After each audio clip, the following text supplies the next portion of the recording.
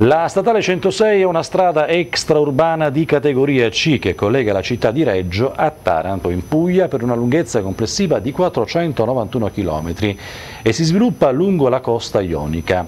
Nel dettaglio dei chilometri totali 39 sono in Puglia, 37 in Basilicata e 415 in Calabria. È stata la prima strada statale costruita in Calabria, nata con un provvedimento del 1928.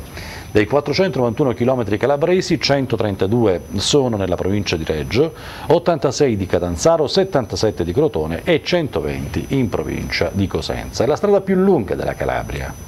Nel 2016, con l'entrata in vigore del nuovo codice degli appalti, è stato deciso il superamento della legge obiettivo e la programmazione delle infrastrutture.